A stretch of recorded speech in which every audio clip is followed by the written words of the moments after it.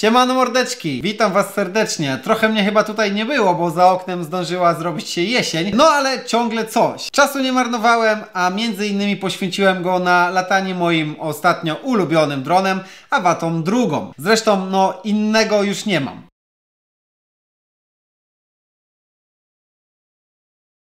To znaczy mam. Mam, tylko on jakby już nie lata, a raczej w nim coś lata. E, Ale dzisiaj o awacie drugiej, a dokładnie o tym, jak nią nagrywać, aby uzyskać jak najbardziej tak zwane cinematic klimat, e, czyli po prostu e, ujęcia filmowe. Film look, jak kto woli, zwał jak zwał. Jeśli chcecie dowiedzieć się jak to zrobić, zostańcie ze mną. Zapraszam.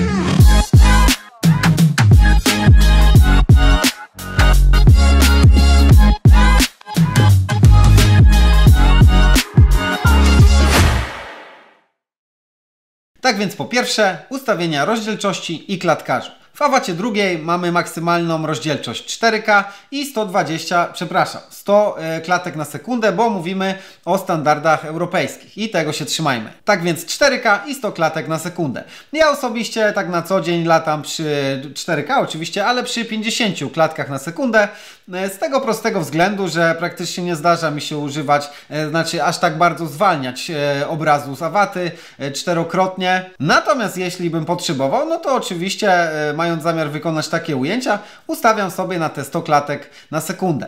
Czemu nie zostawiam tego na stałe? Przecież lepiej mieć zapas. No nie do końca, ponieważ z klatkarzem wiąże się jeszcze shutter speed tak zwany, czyli migawka, prędkość migawki. Ustawiając sobie ten klatkarz na 50 klatek, e, mogę trzymać się tej najbezpieczniejszej, nazwijmy to zasady, tej podwójnej wartości właśnie shutter speeda, więc 50 razy 2 wynosi 100. A, matematyk, człowiek wielu talentów. Gdybyśmy ustawili klatkarz na 100 klatek na sekundę, no ten shutter speed musiałby być na 200, przez co ujęcia są ostrzejsze, na czym nam nie zależy przy tym e, filmowym looku.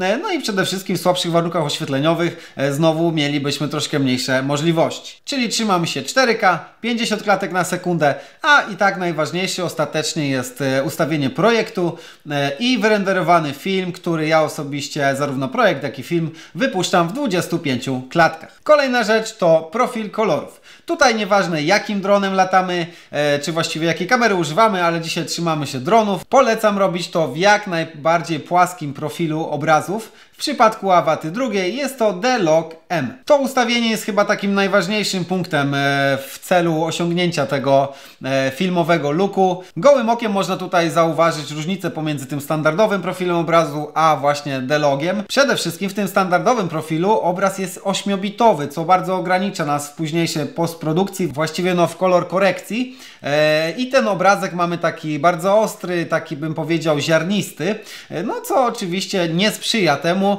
kinowemu wyglądowi naszych ujęć. Profil D-Log M pozwala nam natomiast na znacznie, znacznie więcej. Jeśli chodzi o właśnie kolorystykę naszych ujęć, o nadawanie im tego klimatu, dla każdego to może być oczywiście inny, inny klimat. To jest właśnie to, co sprawia, że te filmy są takie jeszcze bardziej nasze, e, że możemy zwrócić na coś uwagę, że możemy no, wyrazić siebie e, w tym przypadku jakby przez nadanie odpowiedniej kolorystyki swoim ujęciom. No bo w końcu zapomniałem powiedzieć, że D-Log M jest 10-bitowy, więc jest to naprawdę e, bardzo duża różnica. Jeśli chcecie sobie poczytać o tym, jaka jest różnica między 8 a 10, choć może wydawać się, że wcale niewielka, to uwierzcie mi, jest bardzo duża, ale to sobie możecie uzupełnić gdzieś tam przy kawce z wujkiem Google. Co do jeszcze tego kolorowania obrazków, no to tutaj wiele osób może obawiać się nagrywania w płaskim profilu e, ze względu na to, że boją się, że później sobie tam nie poradzą jakby z tym kolorowaniem. Kochani, spokojnie, naprawdę tutaj nie ma nic strasznego, bo tak naprawdę nie musicie kolorować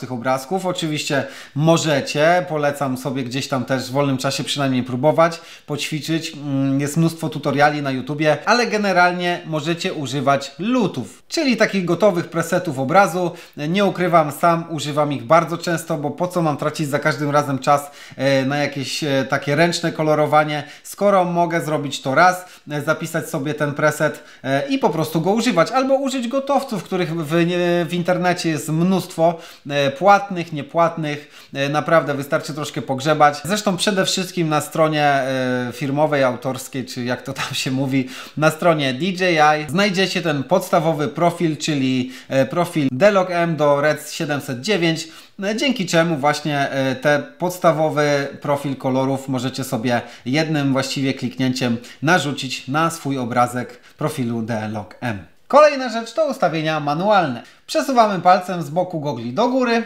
pojawia nam się tutaj opcja auto, manual, przełączamy na manual. W przypadku drona FPV jest tutaj bardzo istotne to, żeby zrozumieć, kiedy jakich potrzebujemy ustawień. Dron podczas lotu e, obraca się, zmienia pozycję, wlatuje w cienie, wylatuje z cieni. Przy ustawieniach automatycznych e, ta kamera będzie sama dostosowywała się do e, zastanego oświetlenia, zastanej sytuacji, ale my chcemy tego uniknąć.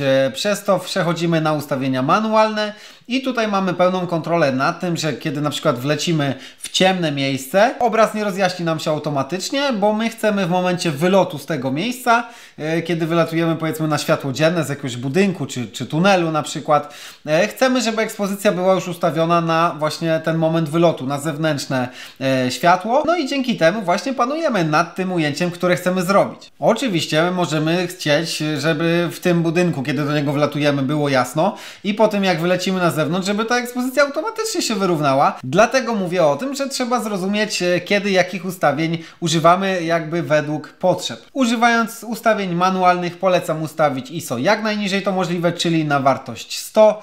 E, pamiętajcie, że czym wyższe ISO, tym e, ten obraz stanie się bardziej ziarnisty, szczególnie w ciemnych miejscach właśnie obrazu, ale oczywiście nie bójcie się tego, no bo nieraz będzie potrzeba użyć tego ISO. Chodzi mi o to, żebyście wiedzieli co kontrolować i żeby to ISO nie było za wysokie, bo po prostu będzie ten obrazek no brzydki. Czyli ISO na 100, migawkę mamy załatwioną, idziemy dalej i tutaj spotykamy ustawienie balansu bieli. White balance służy oczywiście do ustawienia temperatury barwowej, i znowu, w sytuacji, e, kiedy zostawimy to ustawienie w automacie, on, on, dron, w zależności od tego, jak go obrócimy w danej sytuacji, ta temperatura barwowa może e, ulegać zmianie. Nam potrzebna jest pełna kontrola, więc znowu przechodzimy w ustawienia manualne i ustawiamy sobie odpowiednio temperaturę barwową. Jeśli ktoś miałby z tym problem, żeby na oko ustawić tą temperaturę, e, po prostu ustawiamy sobie na chwilę automat, on wyświetla nam, jaką ustawił temperaturę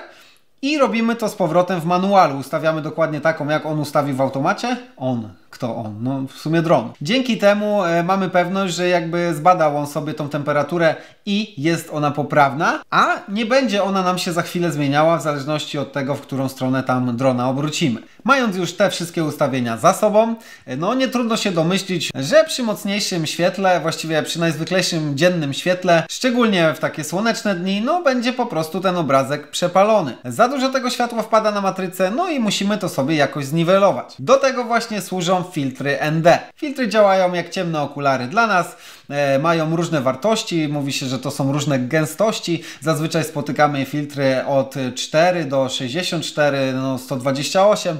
Zdarzają się i większe wartości, ale to już rzadko kiedy naprawdę jest okazja ich używać, więc raczej znajdziemy te właśnie niższe wartości. Chyba, że znajdziemy filtr o zmiennej gęstości, jest on bardzo wygodny, e, nazywają się one variable też chyba po angielsku, jeśli tak to się wymawia. E, można sobie tym filterkiem po prostu kręcić e, i ta gęstość jego się zmienia. No jest to o tyle wygodne, że nie trzeba go ściągać i zakładać, kiedy chcemy właśnie zmienić gęstość takiego filtra.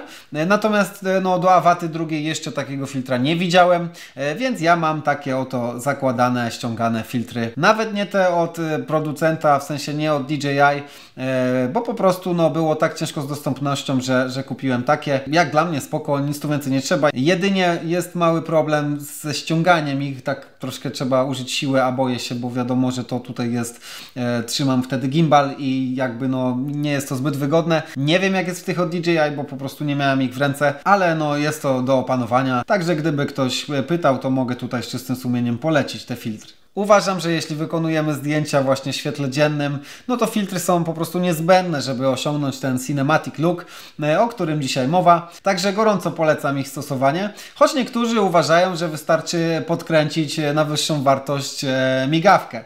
No niestety tak to nie działa. Podkręcając wyżej ten czas migawki, no ten obraz zrobi się dużo bardziej ostry, tracimy ten taki naturalny motion blur, takie te delikatne rozmycie, prawie niewidoczne jakby dla gołego oka. Natomiast ono jest i ono też wpływa właśnie na ten cinematic look, więc no niestety nie jest to tak proste i nie wystarczy e, zamiast filtra ND podkręcić sobie w górę e, czasu migawki. Ogólnie zauważyłem, że wielu e, naprawdę dobrych pilotów e, FPV, którym ja jeszcze na pewno nie jestem, niekoniecznie potrafi ustawić właśnie ten obrazek e, tak, żeby wyglądał odpowiednio, chociaż może mają to po prostu w dupie, nie wiem, bo zależy im tylko na lataniu. Spoko, jeśli ktoś jednak nie ma tego w dupie, polecam te wszystkie ustawienia, o których mówiłem w tym odcinku. Tyle na dzisiaj, kochani. E, subskrybujcie, lajkujcie, róbcie te wszystkie bzdety, bez których no ciężko tutaj istnieć i tworzyć dla Was jakiś sensowny content. Oczywiście, jeśli macie jakieś pytania, to walcie śmiało, czy to w komentarzach, czy gdzieś tam na DM-ach. Ja już na dzisiaj się żegnam, a Wy pamiętajcie, życie to film. Do zobaczenia. Strzała!